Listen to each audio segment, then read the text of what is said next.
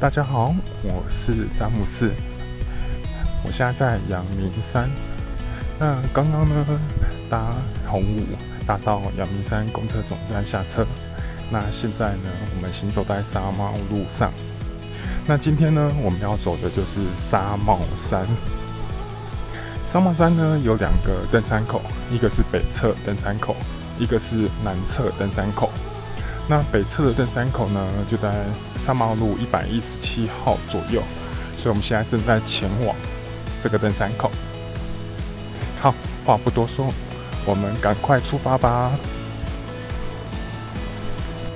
这里就是沙帽山的北侧登山口，然后呢，旁边这一栋民宅就是呃沙帽山一百一十七之三号，所以如果大家找不到的话，可以记住这个门牌号码。好，那我们现在就从这个登山口。开始吧。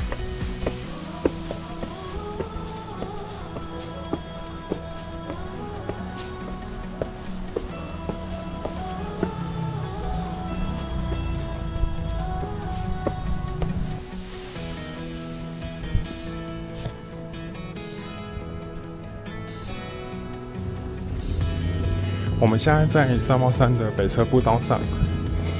北侧步道呢，基本上会比较平缓一些。南侧步道就会稍微陡峭一些，所以有些人可能会由北侧进入南侧出来，或者是北侧进出，那就看个人的喜好了。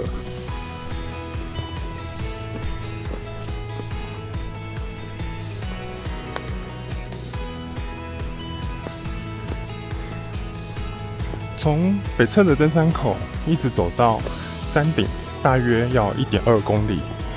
这可能会因为大家脚程不一样，所以一般而言，大概可能半小时就可以走到了。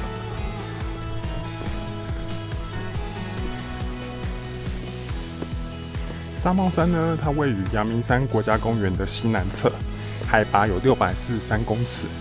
那它是七星山的寄生火山，因为七星山喷发时火山井受到熔岩流阻塞而形成的。另外，它的外形很像古代官员的乌纱帽，因此而得名。在沙帽山呢，它林下的植物其实可以是以蕨类是最为优势。那常见的就有像说台湾梭罗或是笔筒树。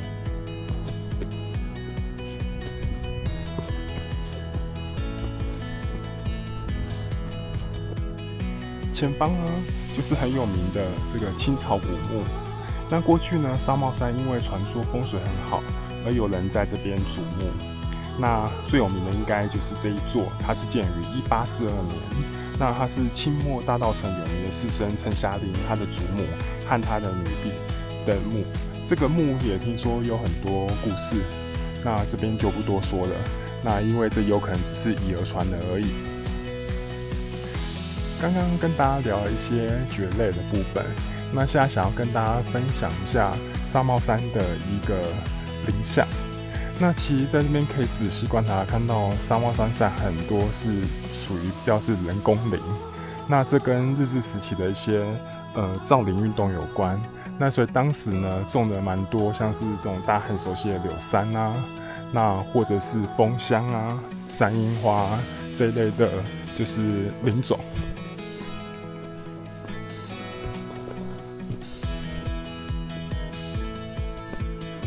到三帽山的山顶喽，那前面有观景平台，我们走过去看一看吧。这边就是三帽山的观景台，那这是我第一次上来三帽山，那这边的景色真的是叹为观止。那前面中山楼、七星山，然后下面是游客中心，然后小观音山。大屯山，这边有台风草。那民间盛传呢，在叶片上的自然折痕的数量可以预测当年会有几次台风，所以因此而有这个名称。沙帽山的三角点在这边，这边呢就是太子亭的遗址。那在一九二三年呢，日本裕仁皇太子到台湾巡访，总督府特别以草山作为台湾三月的代表，安排裕仁皇太子到此访查，因此建造了观景凉亭来迎接皇太子的到临。但是呢，当时的皇太子在这个草山宾馆行程结束后，并没有来到这里，而是前往北投官网著名的北投石。看完太子亭后，紧接着就是南侧的步道。那这步道下去就会走到大埔登山口。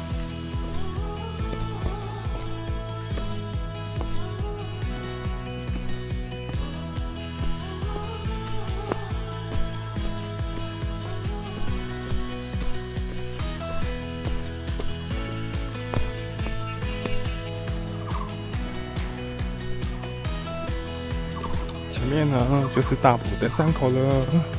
那有意思就是说，我们的三帽山走完了。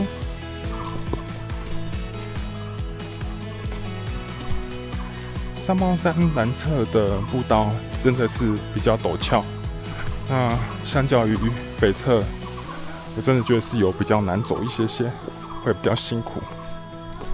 那所以如果脚力没那么好的人，也许可以考虑从北侧进出。那可能会好一些。那登山口出来之后，这一条前方就是沙帽路。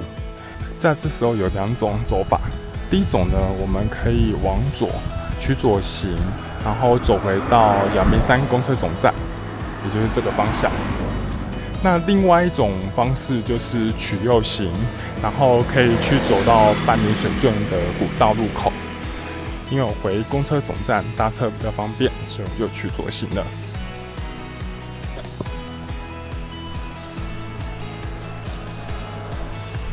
在这沙茂路旁边下方呢，就是很有名的松溪瀑布。半林水圳古道基本上就会经过松溪瀑布了。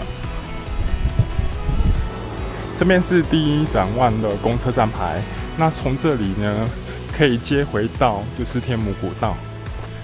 下方这条呢，就是松溪，这边就是天母古道的出口。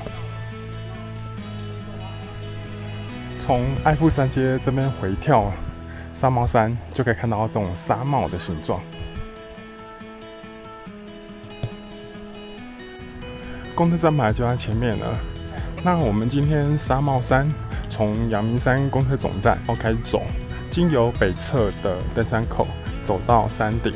那再由南侧登山口下山，那经由三毛路，我们再走到文化大学这里，总共大约两小时，三点七公里左右。那整体来讲，我觉得三毛山的步道还算好走，除了南侧比较陡峭之外，那其余我觉得基本上都算是蛮不错。在山顶的展望也都是蛮好的，然后看到这个七星山、大屯山、小观音山一带。所以这是一个蛮推的一条步道。好，那今天呢，我们的旅程就到这边告一段落喽，下次再见，拜拜。